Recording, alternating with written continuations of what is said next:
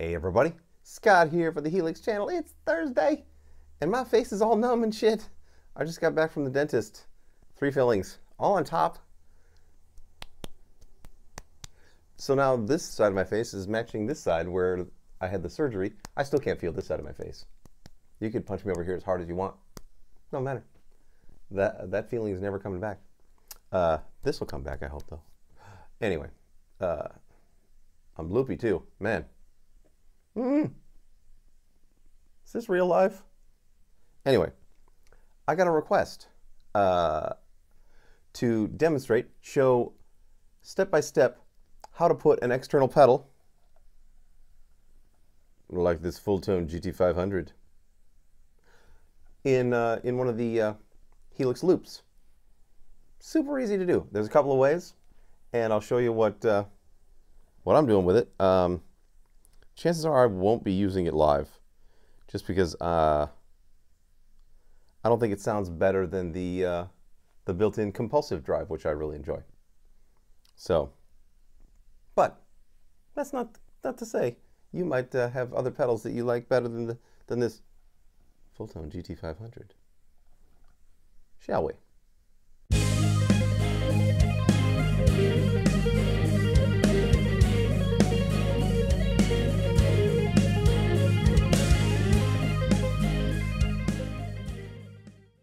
Okay, all we have to do to connect this Fulltone GT500 to the Line 6 Helix is uh, the in goes to uh, from the, uh, I'm using loop number one, uh, the loop send to the in, the out to the return, which is right next to it. It's like uh, boom, boom. And they don't go up and down like the, the G system did. There was like one, two, three, four, five, six, blah, blah. So that's the way it's connected. And we're going to go over to the Helix. I'm going to show you what to do internally and then play some sounds. Alrighty, I've got my Union Jacks 1 preset here. I've, I've uh, made a clone of it, put it uh, in a different uh, hidden location. And now I'm going to show you two different ways to do this. So we just press down on the, on the uh, press the joystick, come down to send returns using a mono and you can do it with uh, the send and return, or you can just grab an effects loop. So this one's run into effects loop one. And let's uh, bypass it real quick. I'll play you what's uh, what's going on. Actually, let me uh, plug my guitar in first. Jesus, don't get ahead of yourself there, Sparky. Cripes. Okie dokie. Now here is the sound of the guitar uh, with the bypass or the uh, FX loop bypass. And it's basically just the, uh, you know, the amp models. turned up to 6.6 and uh, with some modulation on it and EQ and all that shit. But uh, setting, I don't know what the deal with the trails is. Huh, it's noisy when the trails are on. Let's keep, let's keep the trails off. Uh, now let's uh, unbypass it.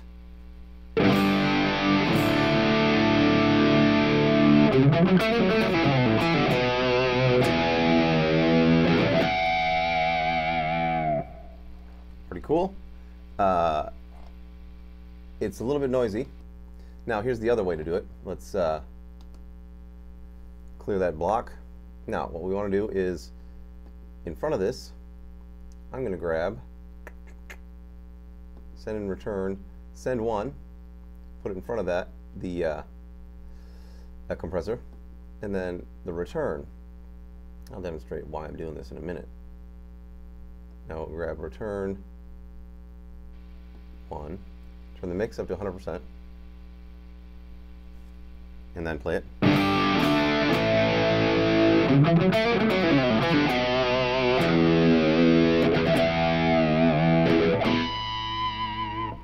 I find that to be a little bit tighter. Now if we uh, take this and move it in front of a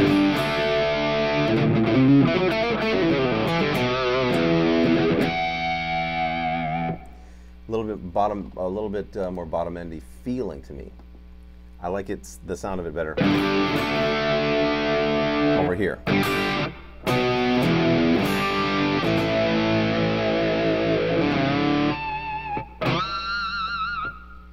And it's not a super high gain pedal. I've got the uh, the drive at about three quarters. I've got the uh, mid range turned all the way off on it.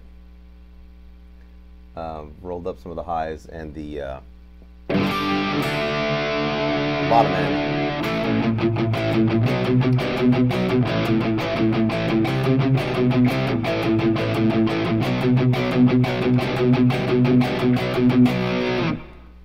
So those are the two ways. Let me bypass the pedal real quick. I'm on the. Uh, I'm just on the boost section of the pedal.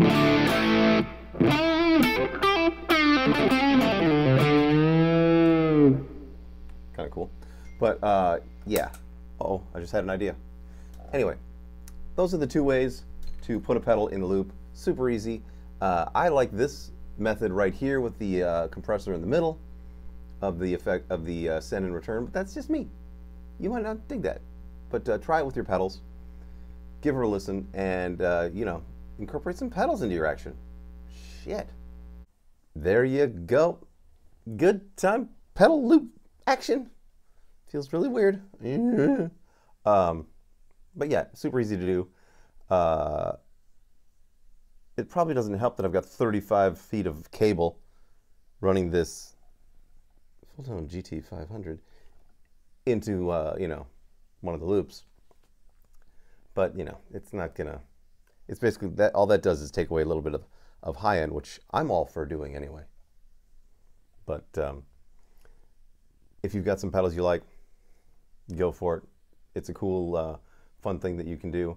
Uh, I remember the uh, in the G System days, the G system actually powered your pedals. It had uh, little power plugs that you could, uh, you know, power your pedals as well as run them in loops. That way, you could have a fully contained uh, pedal board without having to have, you know, a power strip and wall warts and all that bullshit. Super slick. Uh, I was kind of hoping the Helix might have that, but it's fine since I'm not running external pedals. Except for today. But there you go. I will see you tomorrow. And I'm going to be back with some more of the Greta Van Fleet presets, which I have decided is going to be a free preset package because those guys just don't have enough uh, unique sounds. That guy plays basically the same sound on everything. There will either be a big reverb on it or just a little bit of room reverb. So I'm going to give you some options. And, you know, sometimes he'll use a rotary sound. I got that option already covered. So I'm going to put together the rest of these tomorrow. It'll be probably four presets total. And then I'll just put it into a little, it'll be a, a free preset zip file that you can download from my website, scottminch.com. And uh, that way nobody, nobody will have to pay for them. Because I don't feel good about people paying for a preset package where it's only just got a few unique sounds. I, I like that there's a bunch of different stuff in, in all of my preset packages that cover, you know, a wide range of things, except for the Def Leppard one. That's a very specific group of sounds, but they were, you know, still a lot of sounds. Anyway, I'll be back tomorrow with some more free shit for you. So until then, rock on.